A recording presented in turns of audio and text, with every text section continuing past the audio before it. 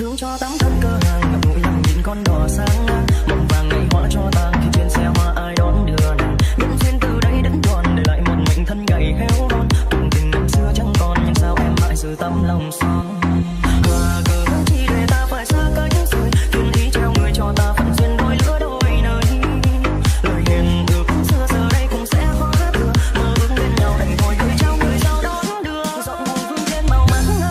Xăm có tiếng thở dài, khắc sâu mỗi tình không phôi phai tiếc cho duyên phận mình ngang trai.